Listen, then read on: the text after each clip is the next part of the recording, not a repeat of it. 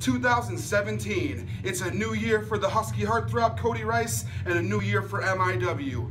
Now at the beginning of the year, you'll hear a lot of wrestlers say, this year is my year. And the Husky Heartthrob Kody Rice, I'm not gonna say that. I'll show it. In the MIW rings, I'm gonna prove in 2017 that bigger is better.